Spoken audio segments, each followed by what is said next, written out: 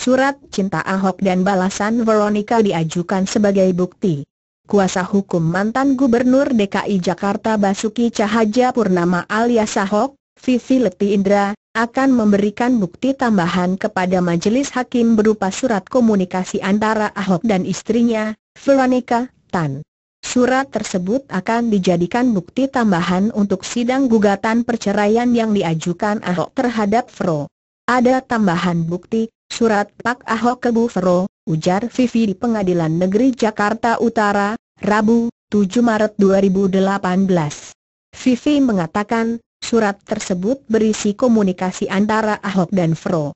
Adapun Ahok saat ini masih menjalani hukuman di Rutan Mako Brimob Depok terkait kasus penodaan agama. Pada 4 Desember 2017, Ahok mengirimkan surat berisi ucapan selamat ulang tahun kepada Fro. Pada 28 Januari 2018, Fero membalas surat Ahok yang berisi pengakuan Fero tentang masalah pribadi yang menimpa mereka. Balasan surat ditulis di balik kertas yang sebelumnya dikirimkan Ahok. Jadi Bu Fero ngirim di kertas yang sama. Fero balas surat, isinya pengakuanlah, ujar Vivi.